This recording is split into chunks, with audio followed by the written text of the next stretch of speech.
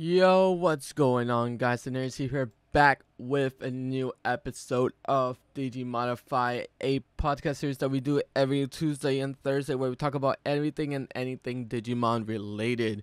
Today, we are going to be talking about options, the offensive side, defensive side, which decks does it better, which decks might need it, which decks don't even bother playing them.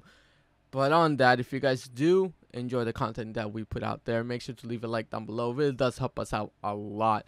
And if you guys are not subscribed, make sure to hit the subscribe button. It really does help out even more to reach 600 by eventually. Eventually, we'll get to the to the uh, 600 mark. If you guys and if you guys are already subscribed and want to get um notified when we put a new episode out make sure to hit that bell notification because then you get to know when we put something else out because uh our regular content is whenever we get a chance to record something, but our normal content is going to be the podcast that we do twice a week, where we talk about different topics, either uh, the uh, the tournament results, tier list, what decks are doing good, what decks are doing bad, what are super hyped. So on that, we're talking about options what options do you guys use? Let me know in the comments down below. And options, I mean like the actual cards that say option, as that you need um a, a specific color on board or in raising to be able to actually even activate.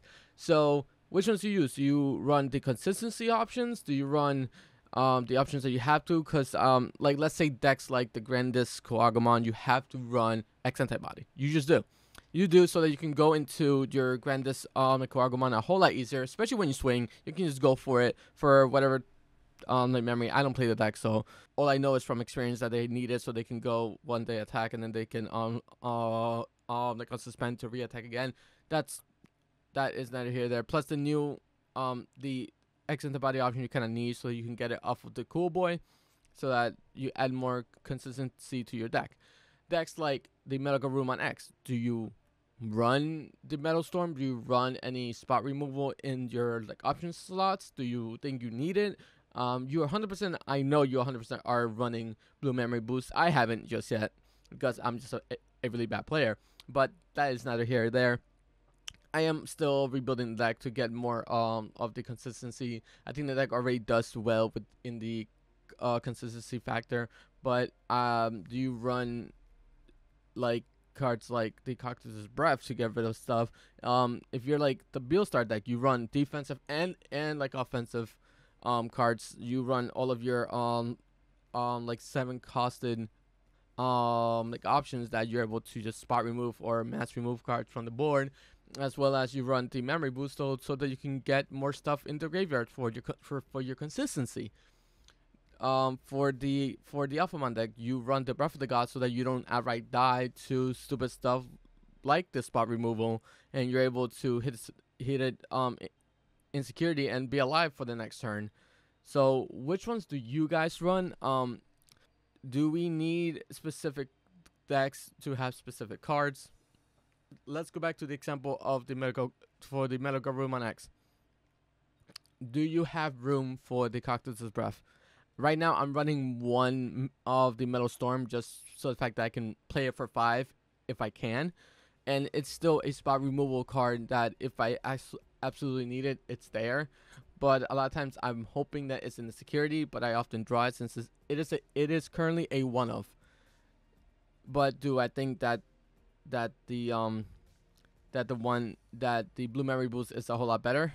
Absolutely, especially with the way that deck is supposed to be played as an OTK deck. With a lot of the um like OTK decks that we have right now, do we just run more stuff to search out the pieces that we need? And for the like the first two three turns, do we just get smacked up and then on turn number three or four that we get to promote, do we just win outright? I don't know. Um, with decks with um with let's say the Sakuyamon, um, on board that if you bring up from raising, you get the uh, the my security three. Do we need a way to get rid of that before we're able to make our game plan happen? The whole meta might change in like in like a week or so, where um, the security control might be a big thing, so we have to play a lot faster, or we might not get a lot of the security control, and we just have um, a lot of the floodgate cards on the board, and the only way to get rid of them would be with spot removal. So, what do you think is better to run, especially in in the case of like locals versus like regional slash the ultimate cups for um for like the locals, you can run a super tech out deck and still do really well. But in a format where you want to play as consistent as possible, like regionals, do you tempt fate and try to get those tech choices to work for you? Or do you try to go as consistency with as much of the consistent in your plan with with the blue memory boost with um with like hammer sparks to try to get your plays out as fast as possible so that you can end the game as quickly as possible? That's that whole um like thought process with the options. And there's such flex spots in each specific deck that is very hard to kind of um like figure out what is the best um like option for your specific deck like in the last format where we had let's say blue hybrid be the number one deck of the format a lot of people were playing um like Innocent Blizzard, which is a fantastic um like option to use as a defensive option. But when it came to let's say going against uh the mother um like D Reaper, Blue Hybrid had a bit of a hard time since it, it needed to go as quickly as possible and there just a lot of times where you just don't do that just yet because you don't get you have to set up your tamers.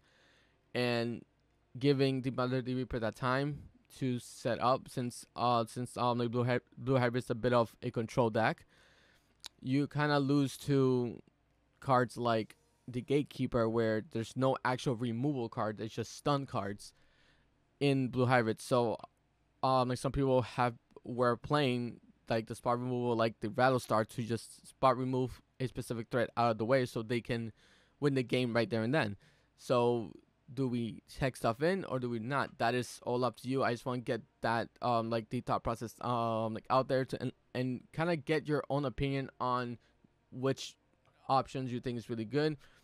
Um, do you like playing like the one to two costed options that do very specific things? Or do you like to play like eight drops? Or do you think that the eight drops like the Gaia Force, um, like Ultimate Flare, I, do you guys think is too much? Um, I do have to say from experience, especially from the last um like locals, I believe that cards like um like Ultimate Flare and the uh, um cards that the Digivolve are, are going to be really really good right now, especially since you're going to be going up against a lot of big stack decks like the um like the War Greymon X antibody, the Metal Garurumon X antibody, the Grandis Kuwagamon, um even like Imperial I think is still gonna be really good to just spot remove. Um, like ultimate flare on a Paildramon is gonna hurt them a lot, especially on the first hit, since they they do get the one draw, but then they're back to a rookie, and then it kills all of the rookies. Um, and the ultimate flare activates insecurity, which is fantastic, but it hurts a lot, especially when you hit it as your first hit and you're trying to go for an OTK right there and then. Um, so do we go for the bomb options or do we go for try to win as fast as possible? I don't know. With the shift, if we get um like a shift in an OTK style where you don't have the spot removal, let's say, um, do decks like uh like the security control do they just thrive off of that? Do with all of their um like spot removal and and the longevity um like that they get? Do they just thrive off of not really worrying about dying to your opponent since you can just get rid of them every time um make that swing? I don't know. And the biggest qu- question is now that in case that does happen, in case we do get the rise of of the security control, do you guys plan ahead and run a delicate plan? I already did that. Uh, like I'm running at least one delicate plant in every deck that I can to fit in a red tamer or like a red and blue tamer or um a red and yellow tamer just in case I do face the security control deck. Do you guys think that far ahead? Do you guys think that it um that a delicate plant is needed at all, especially in decks like um like the Grandis um that Kuwagamon that doesn't get their own inherit a delicate plant in their um in their Digimons. Like decks like like Red Hybrid, um like OTK and War Greymon X, you can honestly with the War Greymon you can attack security without um like activating the options. So they have a inherit a delicate plan which works a whole lot better for them. Um but decks that aren't red are you guys just going to find a way to plan ahead and do a delicate plan so that your stack doesn't die? Let me know down below what you guys think. Um, and will the choices would would your would it change if you go to locals or um or to regionals? Do you guys want to play a, a delicate plan? Do you guys think it's a dead card? Um, that is all up to you guys. Um, I just want to get that thought process out there and making like a little bit of a shorter podcast since it's more of a discussion. Alrighty, guys. So that is going to wrap it up for today's Digi Modified podcast. I just want to get my my thoughts out there about um like options because that's always the one that I always have a tough a tough spot trying to fit in either removal or more consistency. But on that, have yourself a fantastic day and let me go. And once again, let me know down below what you guys think. Have yourself a great day. Bye, guys.